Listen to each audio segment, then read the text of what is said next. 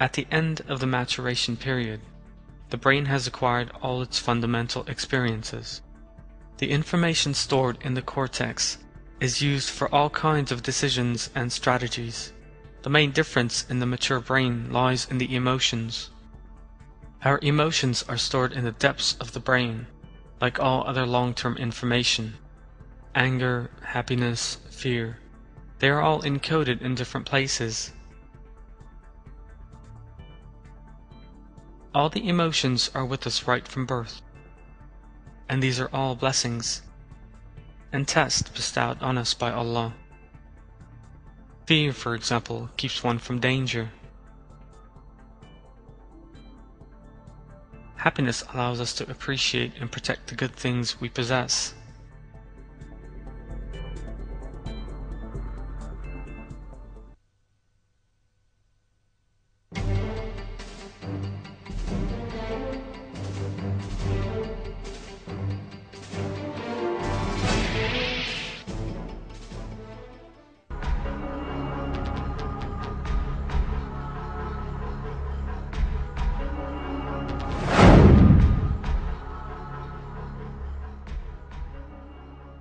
The information reaching us through our sensory organs are turned into electric signals after a long series of processes and interpreted in the relevant parts of our brain.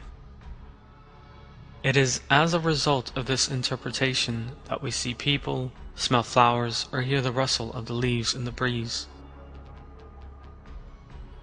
In other words, there are actually no tastes or sounds or images all we can find in our brains is electric signals. From the moment we are born we encounter a brightly colored world all around us. But the fact is that there is not a single color in the whole universe. Colors form in our brains. All that exists on the outside is electromagnetic waves of different lengths. In other words, the colors we perceive exist within us.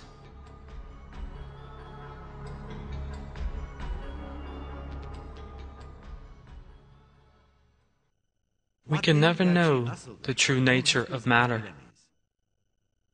Is it as we see it? Is the green of a leaf the same on the outside? So what is the conscious entity that watches the images shown to it in the darkness and silence inside the brain, and is able to think, draws conclusions, and makes decisions? It is obvious that it is not the brain, made up of water, lipid and protein, and unconscious atoms, that perceives all this and is responsible for consciousness. There must be a very different entity beyond the brain.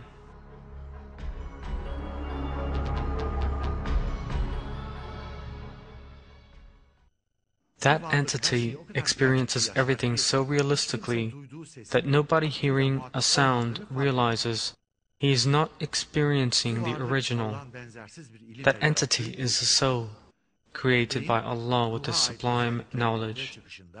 Brain is just a tool by which the characteristics of the soul emerge. Materialists who deny that fact seek to depict the soul as just a function of the brain. The fact is, however, that research into the brain over the last 100 years has refuted that materialist claim. Human consciousness cannot be reduced to the brain, and cannot be explained in terms of brain functions. That is why materialists are helpless when they have to account for consciousness. After years of study, one of these researchers, Wilder Penfield, reached the conclusion that the existence of spirit is an undeniable fact. After years of striving to explain the mind on the basis of brain action alone, I have come to the conclusion that it is simpler and far easier to be logical if one adopts the hypothesis that our being does consist of two fundamental elements, brain and mind, or soul. I am forced to choose the proposition that our being is to be explained on the basis of two fundamental elements, brain and mind, or body and soul. This fact, arrived at by scientists, is nothing other than another way of expressing a reality revealed by Allah in the Quran 1400 years ago. Allah revealed that He creates human beings together with the body and then breathes a soul into them. I seek refuge in Allah from the accursed Satan. He who has created all things in the best possible way.